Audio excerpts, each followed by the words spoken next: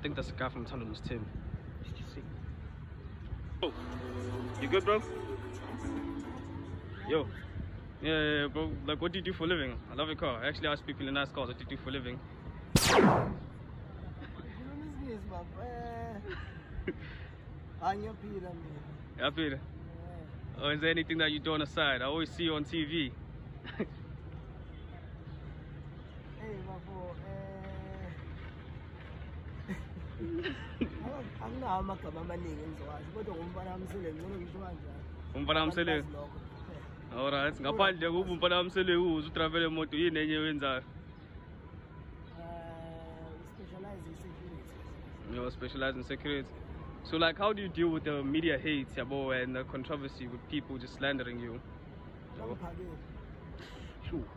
Ayekho umuntu ongiphakelayo. So umuntu ongangiphakeli. Issue, issue. Alright. nalabo abangiphakelayo kuphela. Okay, so Mase ngithelele uyena lo sekunenkinga. alright. So like um do you have any life tips, advice?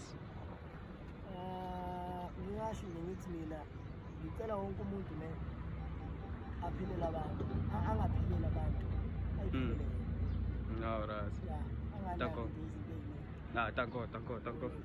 Hello you guys, I'm Bonani and welcome back to my channel. So Umpumelelo Mseleku recently got interviewed by one guy who do street interviews of people who drive expensive cars asking them what they do for a living. So Usbindi was spotted in a 1 million rand car but people were dragging him for his English for not speaking English in this video because the guy was asking him in English but he he answered in isiZulu and some were even saying that maybe he does not know how to speak isiZulu. Maybe nje he is someone who likes speaking isiZulu you guys. But get to let me know what you think about this. One to share your thoughts on the comment section below. Don't forget to like hit the subscribe button join the family you guys. And I will see you on my next one. Bye